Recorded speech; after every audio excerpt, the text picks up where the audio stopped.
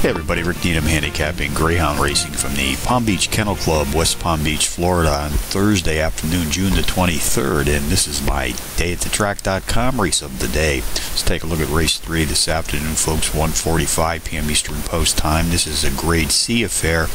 These pups are sprinting 545 yards. Using Quick Dog software, I've isolated a power pup to put on top of my multiple entry contenders list. And on this entry this afternoon, number 6 Payday Ramona, I'll make a win place in show wager.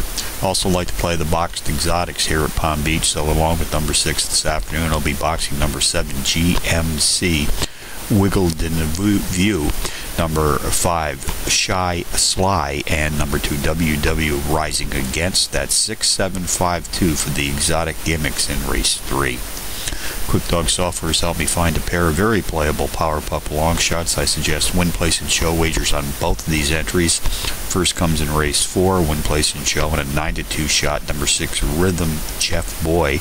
And in race 6, win, place, and show on a 4 to 1 shot, number 5 Craigie Scooter.